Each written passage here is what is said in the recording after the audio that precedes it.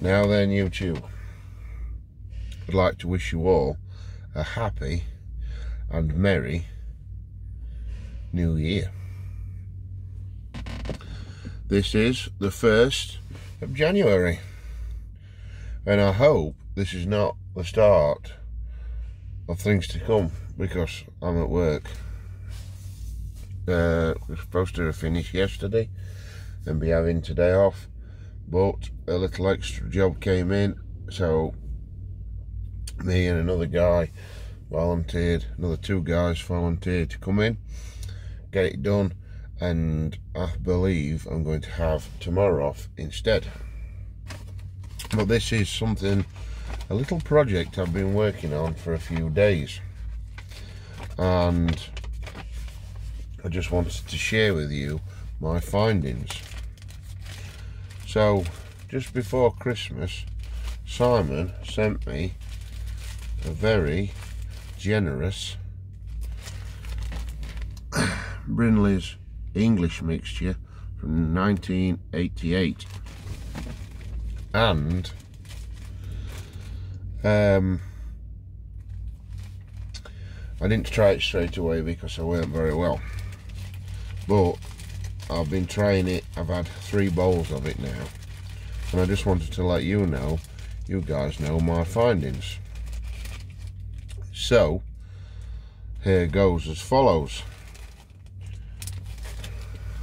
I've got some in my I think it's a 304 yeah Peterson 304 sitter which my dad bought me from Ireland. And I'll be lighting it with a Christmas gift that a friend I work with um, bought for me. And it is a brass Zippo pipe lighter. It's got a little author type shape pipe on the bottom. And the Zippo fuel type um,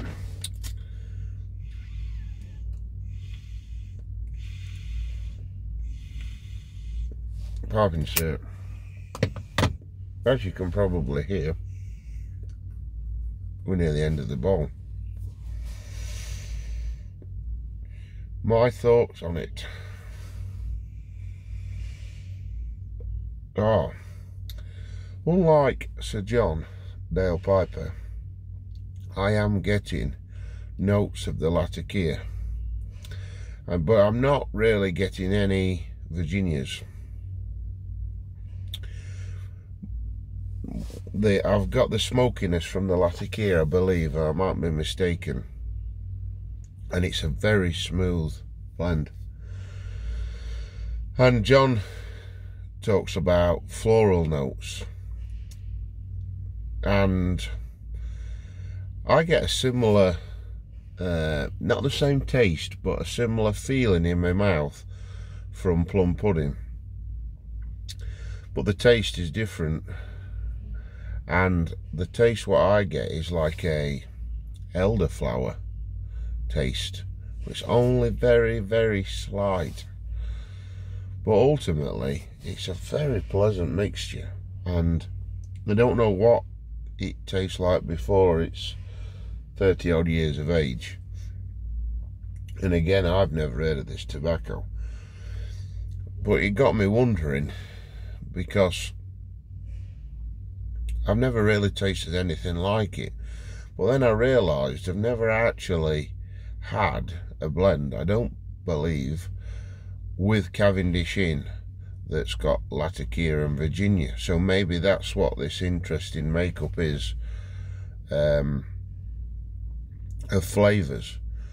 But the, the best way for me to describe it is I, I get some smokiness from the Latakia and then like an elderflower, not elderberry, elderflower taste in in your mouth. And it's really not overpowering and it's definitely nothing like roses or geraniums. It's really, really, really nice. Really pleasant. And um, from other English mixtures, sometimes you, you're left with a bit of a, I call it a smoky mouth. You're left with a bit of a smoky mouth, which obviously ultimately makes it as though it's not an everyday smoke, it's a special occasion smoke. I usually try and uh, smoke Englishes uh, before I have something to eat so that once I eat my tea, for example, it cleanses my mouth because I find if not, I'm tasting it all night. Whereas this, you don't get that. Um,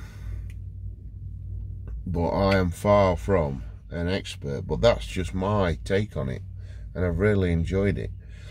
So I'd like to thank Simon for thinking about me um, and sending me some because, you know, um, it's very dear to me that you you did that, and uh,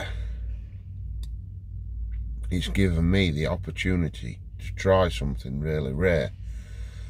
Um, that again, there's probably I haven't checked, but I imagine there's no reviews on it or anything like that. So you really are getting an honest uh, reading from your taste buds. So it's really added a new dynamic to anything I've ever tasted before, really, which is nice. Excuse me. So thank you very much for that, Simon. Um, he's, I've also received the walking stick from Simon, made by Phil Rivara. I have been, I have repaired it. I have put a video together, but I wanted to polish I will give it a few days to cure because I always find the epoxy takes a little longer when the air can't get to it which it can't do from how I've repaired it so I've left it a few days in the house drying I'm going to give it a clean up uh, tonight hopefully and do the last part of the video so you guys if you're interested can uh, follow me through the process of repairing this stick.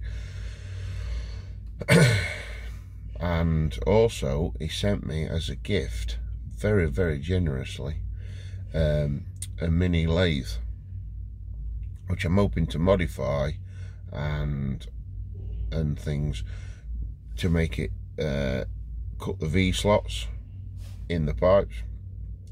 It's, it's done been done before, but uh, the lathe it's got quite a lot of headache and it's not I've not tried it but Simon said it's not sort of um, accurate takes a lot of setting up. So I'm going to try and refine it so it makes a very nice V-slot. Right then guys. It's approaching half seven here in the UK time to start work. So, I hope you have a good New Year's Day. I hope you have a really good New Year for the rest of the year. And until next time, guys, keep it lit.